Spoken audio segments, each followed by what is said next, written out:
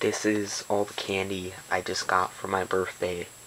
Well, my actual birthday was yesterday, but we're having the party today.